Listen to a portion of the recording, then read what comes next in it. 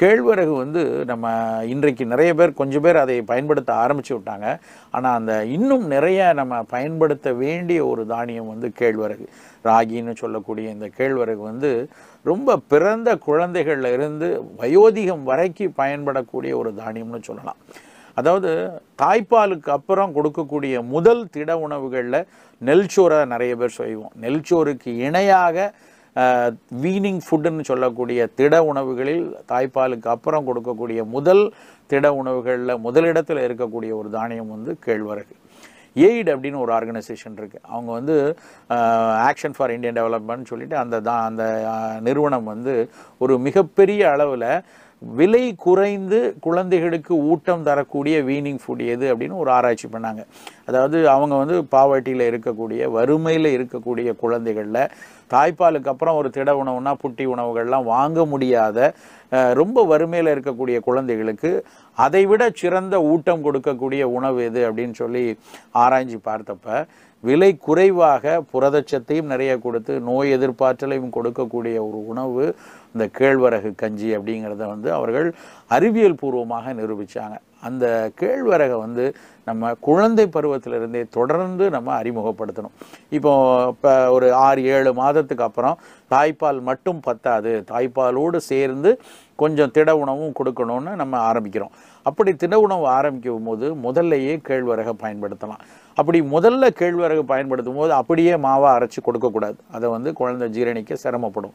அப்போ என்ன செய்யணும் அப்படின்னா முதல்ல அந்த கேழ்வரகை நல்லா ஊற வச்சு கொஞ்சம் நேரம் ஊற வச்சு அந்த ஊர்ன அந்த கேழ்வரகை வந்து நல்லா அரைச்சி அப்புறம் ஒரு துணியில் வந்து வடிகட்டி அதில் பிழிஞ்சு அந்த பாலை மட்டும் எடுக்கணும். அந்த கேழ்வரகு கஞ்சி பாலை அந்த பாலை வந்து கஞ்சி மாதிரி காய்ச்சி அதை முதல்ல குழந்தைகளுக்கு கொடுக்கணும். படிப்படியாக அப்படியே அதுக்கப்புறம் மா அப்படியே கேழ்வரகு அரைச்சி பொடியை பொடியாக்கி அந்த மாவை பயன்படுத்தலாம். முதல்ல அந்த ஊற வச்சு அரைச்சி பிழிஞ்ச பால் அதுக்கப்புறம் கேழ்வரகு மாவுன்ட்டு குழந்தைகள்கிட்ட அதை பயன்படுத்திகிட்டே போகணும். ஏன் வந்து அது வந்து ஒரு நெல்லரிசியை விட சிறந்ததுன்னு பார்த்தோன்னா சிறுதானியங்களுக்கு அதுக்கு அதனுடைய மருத்துவ குணம் அதனுடைய நிறத்திலேயே பொதிஞ்சிருக்கு அப்படின்னு சொல்லலாம்.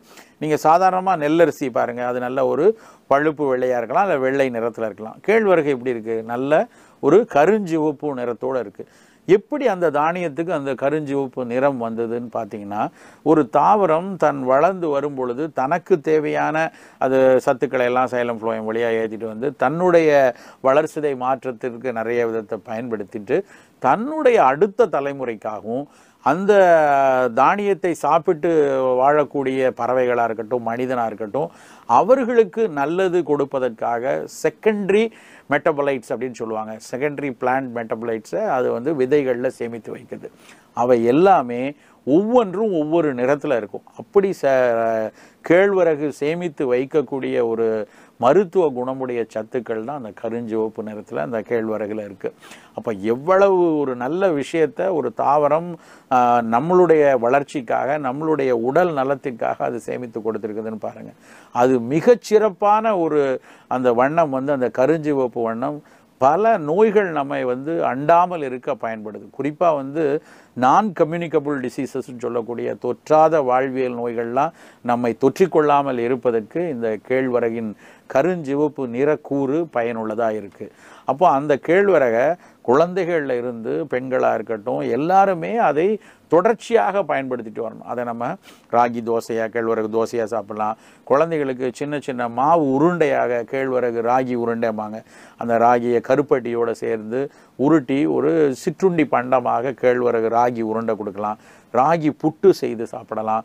இன்றைக்கு வந்து வணிக நிறுவனங்கள் சில வந்து ராகியவே வந்து சேமியா மாதிரி எல்லாம் பண்ணி கொடுக்குறாங்க. அது மாதிரி எடுத்துக்கொள்ளலாம் ராகி தோசையாக உளுந்தோடு சேர்த்து தோசையாக வார்த்து நம்ம சாப்பிடலாம்.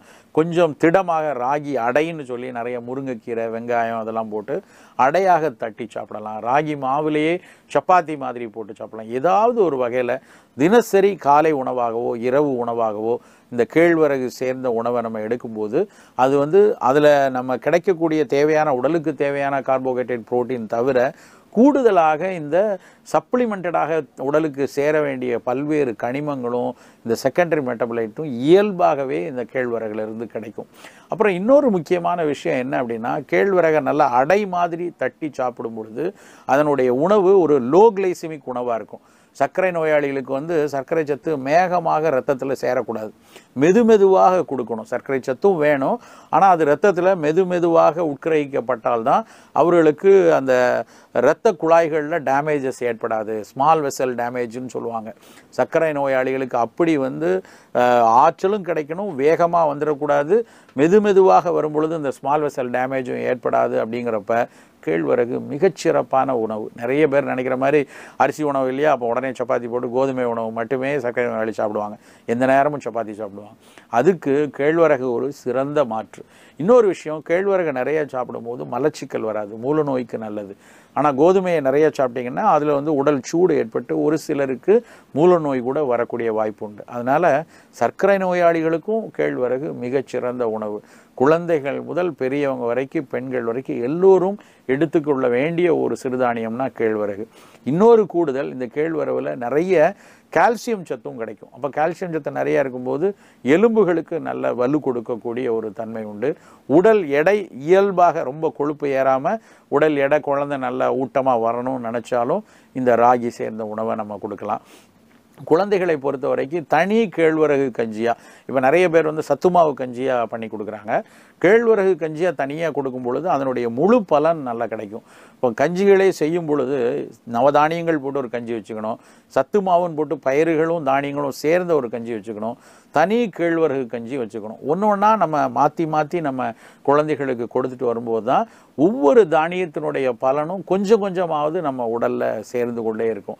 அதே மாதிரி சிறு நம்ம சிற்றுண்டிகளாக செய்ய வேண்டிய விஷயத்துலையும் இந்த ராகி உருண்டை ராகியில் செய்யக்கூடிய புட்டு இனிப்பு செய்யணும்னா கூட ராகியோடு சேர்த்து நம்ம பனை வெல்லம் நாட்டு வெல்லம் சேர்ந்த உணவுகளை நம்ம அன்றாடம் கொடுத்துட்டு வரணும்.